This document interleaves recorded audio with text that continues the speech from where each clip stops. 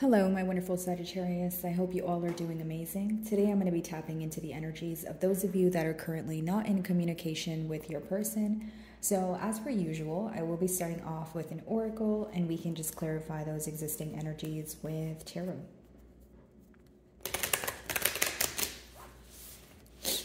Okay, for my Sagittarius, please.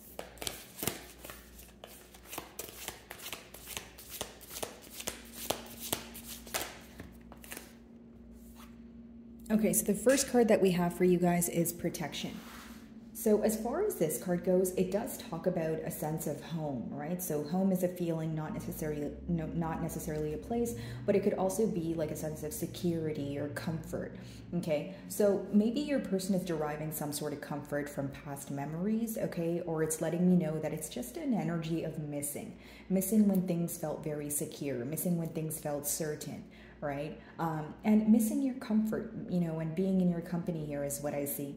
Now, for some of you, this separation here could have happened very abruptly, and you're kind of confused, or you know, it kind of left you questioning many other aspects of the bond because you feel like this is someone you have a lot of history with. It's someone that you have been through a lot with, right? It's almost like it took a while for you guys to plant the seeds and have it grow. So it's like, okay, now that we're in separation, you're kind of taking a trip down the timeline of you know uh, your bond here and how things happened and so the questions that are coming to your mind are okay well why did things transpire the way that they did could maybe um, have things been ha- uh, could maybe uh, you know I ha- have handled things differently. Why did that take me a while to, to say? Um, you know, so maybe, you know, whether it's a questioning of you handling things differently or your person handling things differently. But essentially, what I see here, guys, is a lot of questioning as to why things transpired the way that they did. Because your first card is the most, you know, um, potent card here. So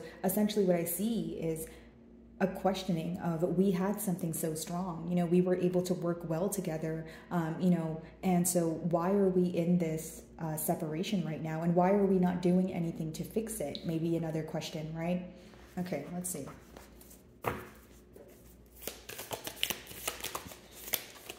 Okay. Leadership. Okay so this is the uh, mutual energy between the both of you. So you guys are going to know your situation better than i will but as far as this card goes, it talks about maybe one person taking the lead in this bond and one person kind of following the lead.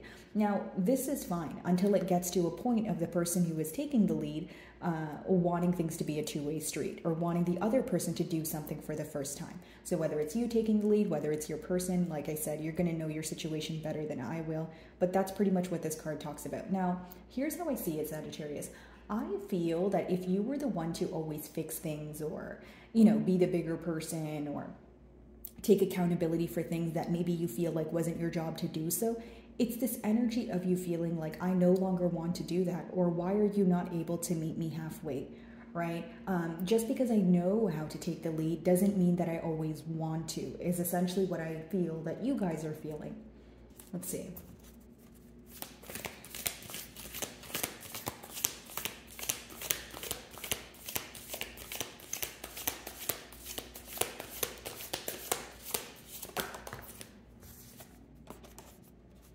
So maybe you feel like, you know, what's going on right now is your person is overcomplicating things, or maybe things seem a lot more complicated in your mind or complex in your mind, but you feel that they can play out in a more simple way, right? So pretty much simplifying what's going on here and wanting maybe even your person to come out of an energy of sabotage or just being in their own way is a better way to say it, right?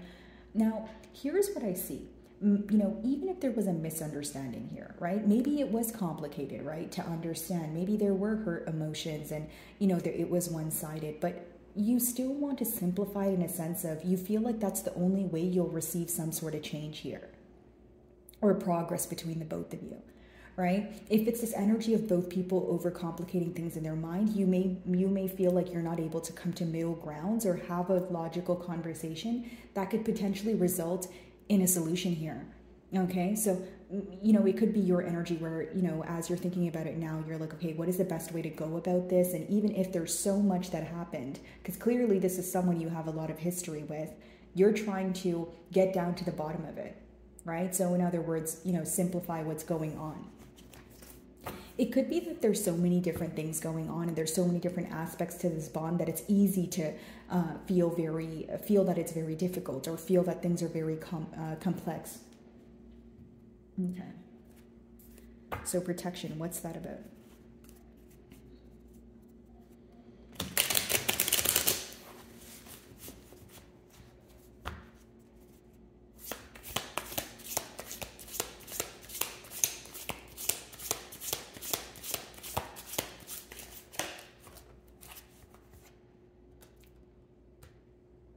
I feel the reason why there's a waiting game right now, or why there's this back and forth energy, or push and pull, right? Same thing, different terms, uh, is because there is this energy of guardedness. Like, as Three of Wands means you're waiting for something to happen, you may be waiting for this person to reach out, or they may be waiting for you to reach out, but that's because you guys are guarding your heart. It's a very unexpected energy attached to this spread, um, unexpected or unpredictable. Like, I don't know what's next kind of thing. So maybe even if you guys are wanting to converse with this person, you're not sure if that's the right thing to do right now. And I think that the reason why you're not sure is because you're you're doubting the outcome. You're doubting that things would actually change or this person has actually actually changed.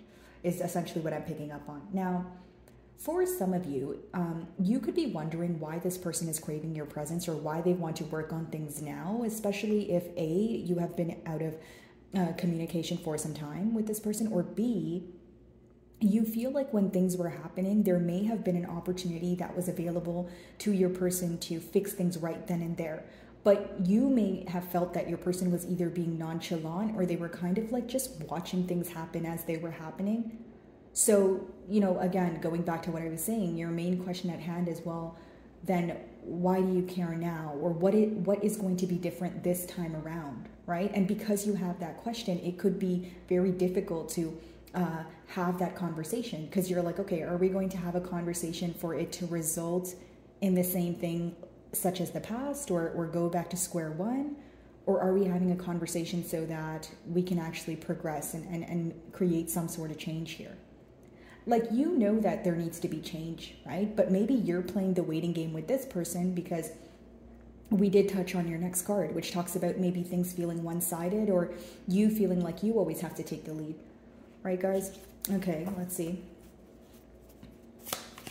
By the way, guys, do you guys, uh, you know, like prefer longer reads or do you like like the longer detailed ones or do you guys like more of like a shorter read? Just let me know in the comments if you guys don't mind, just out of curiosity.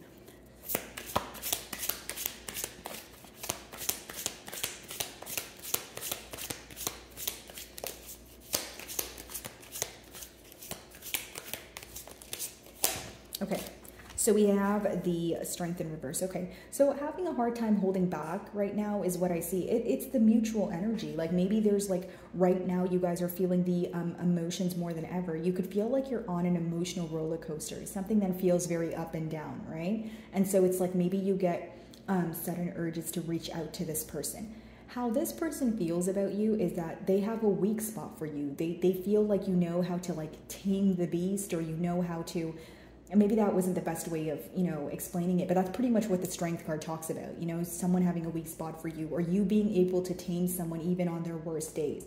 Even if it's like someone who doesn't like to be vulnerable or open up about their emotions they feel like you're the only one who can get that side of them right? Or get them to reveal that side of them. Um, some of you of course could be involved with the leo but essentially how i see it here is you know both of you are thinking about the situation but there's this energy of not wanting to hold back anymore or getting extremely tired of this waiting game where it's like like maybe sometimes when you think about it you're like oh, you know what? I kind of just want to like reach out or i kind of just want to find a solution already right? So even if you are playing this waiting game with this person there are days where you don't want to. There are days where you're absolutely tired. And you're like you know what? Can i just reach out? Like you know can we just talk about this? Can, can this just be over like this part of the bond this stage? Can we overcome this right, guys? Okay, let's see.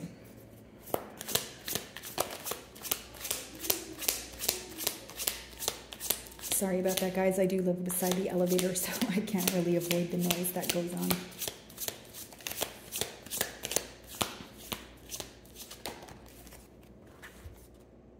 Okay, so we have the Ten of Cups in reverse. So again, the main focus is either A, not being able to get a commitment off the ground, or B, having a commitment and, and also having it end in a very unexpected way that it left you feeling that there was unfinished business. You know, a lack of closure leading to questions like what if, or like why did things happen the way that they did. So, pretty much what I was talking about in your first card, um, the protection card, okay? Now, for others of you, you could have had a family with this person, or maybe you guys were in like a live in situation, but I feel like there's this energy of, of uh, you know, a party feeling that they ruined some sort of family dynamic or home dynamic here. Okay, so if you don't have children with this person, or you guys did not birth a child together here, could be that this is something that you guys spoke about. Okay, um, so it could just could also just be an energy of thinking about the plans that you guys made together. So maybe your person is um, realizing that the promises that they made you know most of them ended up to be empty promises versus promises that they actually followed through on. Okay? Let's see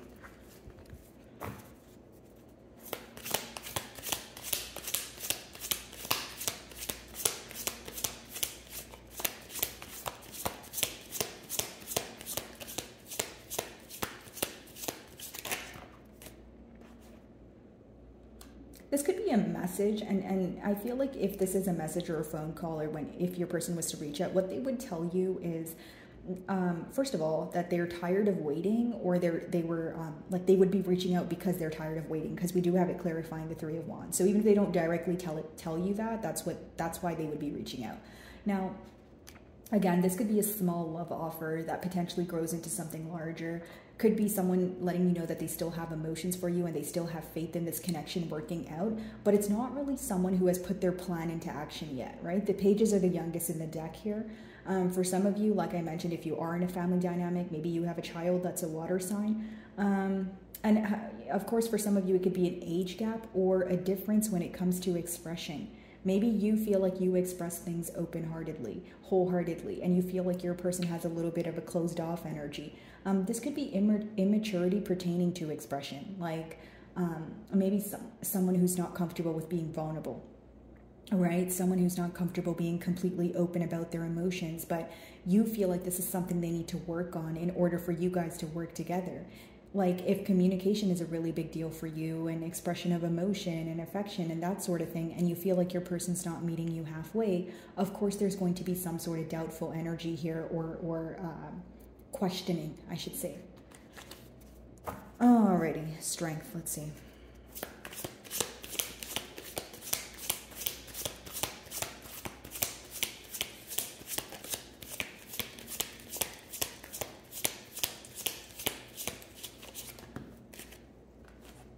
So we have the lovers here. I'm just going to flip it around, guys, because of the nudity. But essentially, there's a decision to make at hand. And here's what I will say both of you could be going through a period where it's like, okay, there's a lot that you know there's a lot that you're aware of pertaining to emotions pertaining to you know what you guys have you know achieved together what you guys have birthed together. If it wasn't a child maybe there was plans to you know like a business plan or a travel plan just essentially wanting to create together is what i see okay? Now those are the things that you guys are aware of. The things that are in the unknown is suppressed emotions. Maybe someone not admitting to dishonesty someone waiting for an apology right? So here's what i will say. With that lovers it's almost like the reason why there's a failure to make a decision is because you feel like you don't know enough to make a firm decision. Think about it this way if you're in a gray period or like a confused period about a situation and you're not able to see all aspects of it, how would you be so sure of your decision?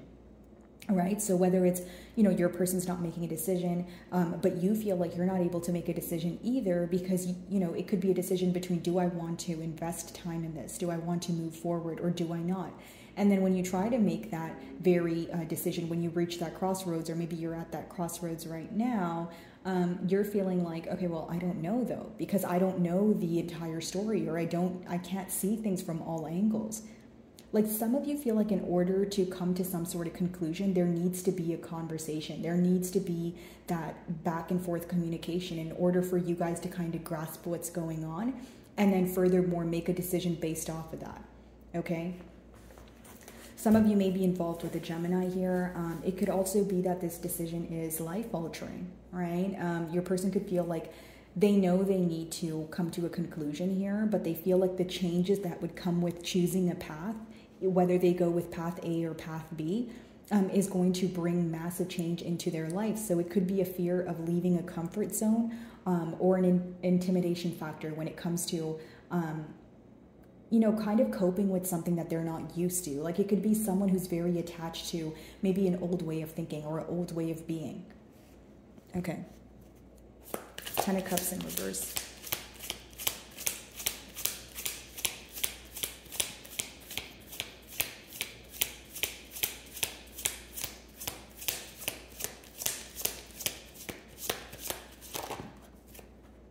Okay.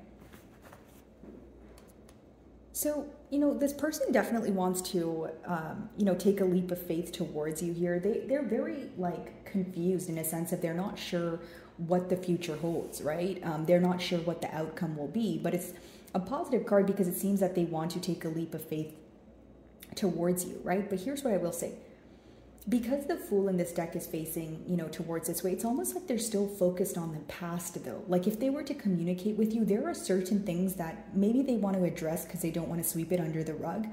But some of you may not trust this person or you feel like there's some sort of unpredictable energy attached here. Um, in a sense of you don't know if things are going to change for good. You don't know if things are going to be different this time around. Um, you know in the future outcome if i'm being completely honest with that ten of cups in reverse and the fool upright. It's someone who is very upset about a failed commitment guys and they can uh, want to speak to you about that but i don't think that they're sure about their next steps. Like they know they want to communicate with you. They know they want to express their emotions. They know they want to simplify what's going on in their mind but i'm not sure that they are very sure of what they will do moving forward. So you know do what you will with that information sagittarius right? Like whether it's you know you're okay with just having a conversation or some of you may only want to have a conversation if it's going to lead to your desired outcome. So in that case maybe you don't want to have a, a pointless conversation especially if you feel like it's not going to lead to um, a commitment or you know reversing that ten of cups there right so my wonderful sagittarius i really do hope you were able to find a message that resonated with you here today and uh, thank you so much for your time